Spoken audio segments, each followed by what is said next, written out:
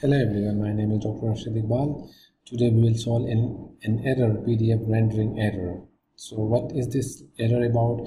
When you run your file in ShareLaTeX and for checking the PDF file, you see that the document is downloaded directly and the error is shown in the file something went wrong while rendering this PDF. So there is two different solutions for this.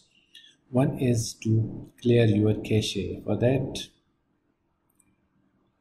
for that purpose let's go to the uh, Google Chrome setting.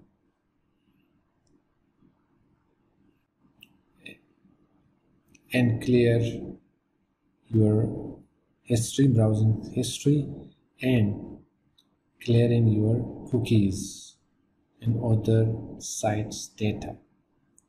So after clearing this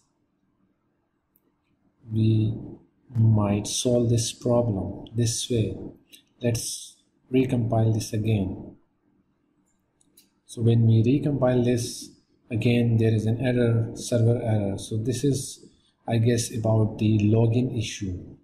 Uh, since we we removed the uh, already cache cookies data so it needs to be re-login to Overleaf or ShareLaTeX so let's log in again with some ID and password so uh, let's recompile this to see if that error was removed or not. Oh, so the error still exists. Something went wrong while rendering this PDF. So let's apply second method. Go to IDM Internet Download Manager.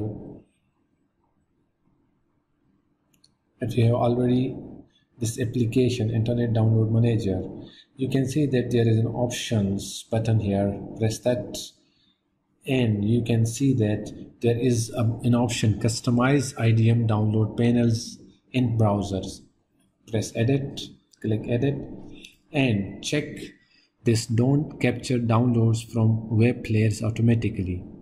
So what it does it automatically captures the pdf file and download it and okay so we we solve this error.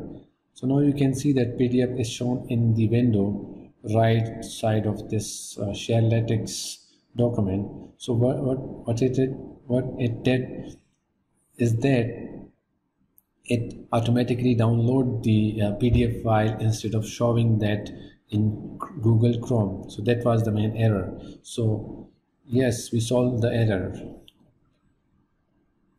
I hope it works for you as well.